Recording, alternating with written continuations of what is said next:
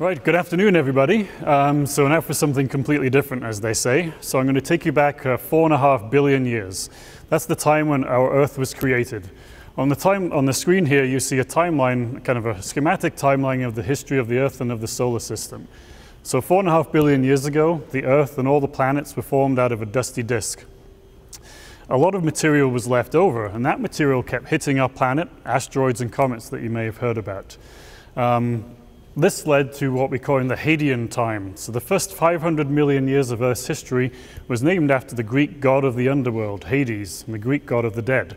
And we suspect that it was named this way because asteroids and comets kept hitting the Earth, and there were thousands of times more volcanoes than, than there is today. So we get these artist renditions of a very hell-like early Earth. So over the past few years, scientists have also recognized that life on Earth originated back then. And in fact, our earliest form of life today on Earth we know dates to about 4.3 billion years. So this begs the question, you know, if this was a really hell-like period in Earth's history, how and why did life originate? So enter meteorite impacts. Um, many of us, and many of you may have heard about meteorite impacts because of their destructive uh, effects. So, you know, pictures of dinosaurs getting wiped out 65 million years ago. We do indeed suspect this is the case.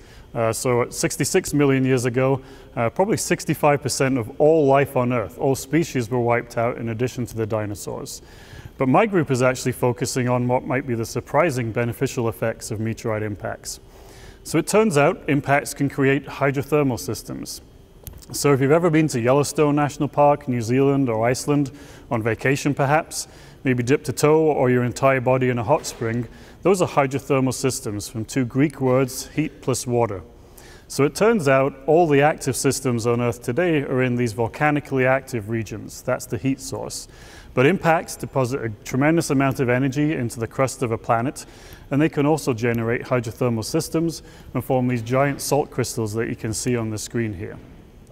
But that's not all the beneficial effects. Um, even the rocks that are melted by these impact events, there are pressures and temperatures thousands of degrees Celsius.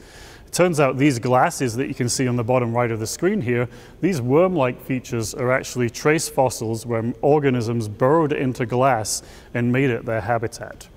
So what my research and my group's research is doing is showing that impacts, while they are destructive, we should actually think them as beneficial effects for life on Earth.